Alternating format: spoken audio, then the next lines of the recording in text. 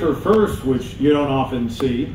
The Furman Paladins getting five first place votes. The Samford Bulldogs getting four first place votes. Those are the top two teams in the coaches poll. Pick third, the Mercer Bears. Then the Chattanooga Mocs are fourth. Western Carolina fifth. ETSU is sixth. Wofford seventh. The Citadel is eighth. And VMI is ninth. That's the coaches poll. The, uh, the media will tell you they know more than the coaches, generally, generally speaking. Uh, I've kind of noticed that. I've kind of championed that cause at times myself. Anyway, in the media poll, Furman is the pick to win the conference championship. 30 first place votes. Samford picks second. The reigning champion Bulldogs getting eight first place votes. Mercer gets two first place votes. They're third. Pretty similar look in the media poll. Chattanooga fourth. Western Carolina fifth. ETSU is sixth. The media has the Citadel seventh and Wofford eighth, and VMI is picked ninth. And we want to acknowledge our preseason players of the year, who are two of the 18 student athletes we have here in attendance today.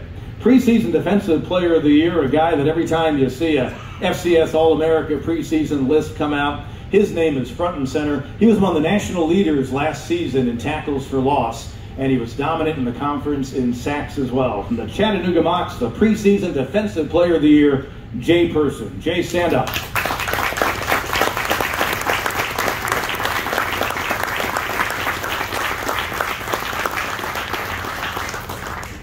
And our preseason Offensive Player of the Year continues a tradition of really fine quarterbacks at his school. A few years ago, they had a guy named Devlin Hodges, who you may remember got some snaps in uh, game action in the regular season with the Pittsburgh Steelers. Last year, this preseason player of the year came in and either touched or set several Samford records. He had a 3,000 yard passing season from the Samford Bulldogs. Preseason offensive player of the year, Michael Hiers.